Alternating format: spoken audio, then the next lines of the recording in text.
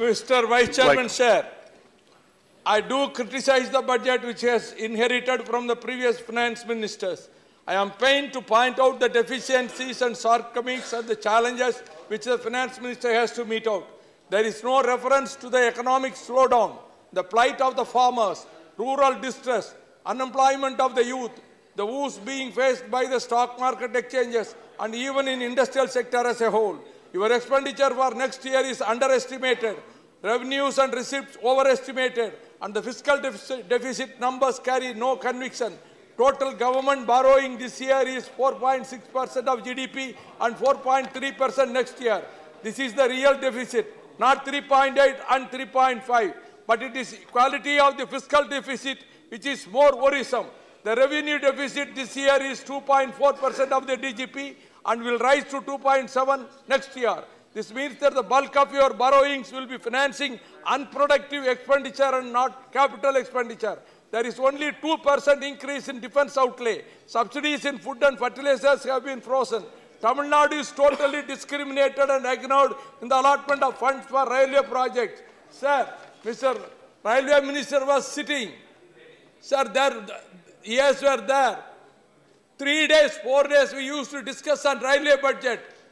This is the most unfortunate and unwise decision clubbing the railway matters and railway budget along with the main budget. But anyhow, only a pittance is given to my state, Tamil Nadu, as far as railways are concerned. What is the problem of the Indian economy today? Its lack of demand, which started from the rural areas because of the income of the farmer instead of increasing, actually declined. So did the wages of the agricultural worker. This government is alone solely responsible for the current plight of the Indian economy and the Indian people.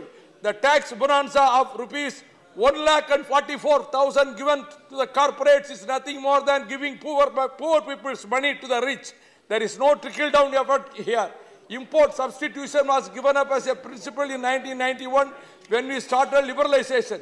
This principle was followed by all governments, including the present one, until 2015. But for the last four years, this policy has been reversed, and in budget after budget, customs duties have been increased. Yet Make in India has been a dismal failure. Let the positive outcome of Make in India be tabled on the floor of the House. Has it enhanced exports? If so, what extent has it value added to our foreign exchange reserves? Mahatma Gandhi Rural Employment Guarantee Scheme Fund reduced. Food and fertilizer subsidy has been drastically reduced, which means you will produce less and less from farmers at minimum support price. price. Money taken from farmers has been given to the corporates as rupees 1 lakh and 45, 45, 45,000 lakh crores tax bonanza. You assume doubling of farmers' income by 2022, which means that in agriculture sector should grow up 15% per annum as compared to the present 2.2 2 to 3 percent. Similarly, achieving a $5 trillion economy by 2024 will require India to grow at double digit every year compared to the present 5 percent. This year the economy will grow by 5 percent. This is the estimate. Both the targets are totally impossible.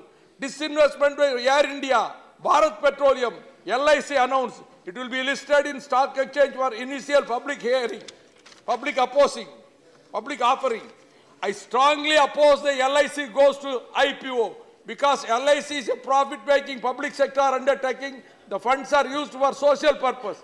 Implementing the new educational policy of Kasturirangan report is nothing but the agenda of Hindu Hindutva forces thrusting Hindi and Sanskrit. I strongly oppose this pernicious move. What is your policy on public sector undertaking? You first come out with your PSU policy. Which are the entities you want to retain? Which are the entities you want to sell? Did the finance minister participate in the pre-budget discussion of the prime minister?